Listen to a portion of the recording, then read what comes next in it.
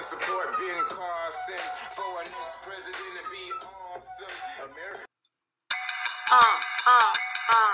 I said, hey, LB, if you like pizza dough, come to our meeting. We'll be eating too for show. We're the young Democrats, and our club is gold. Once you come to a meeting, you'll be asking for more. Anyone can come, there ain't no laws. If you're not a Democrat, that ain't wrong. Come to the meeting, homies. That means you Naomi. Hey, you can